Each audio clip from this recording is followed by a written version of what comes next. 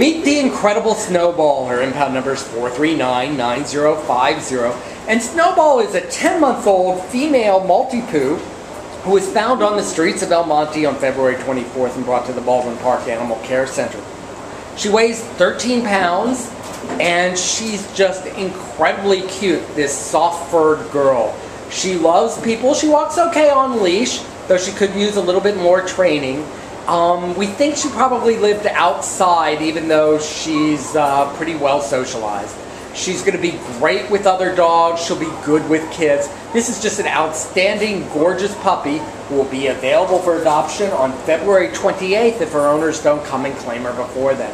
So if you want a phenomenal pup and a really beautiful girl, please come to the Baldwin Park Animal Care Center and get Snowball.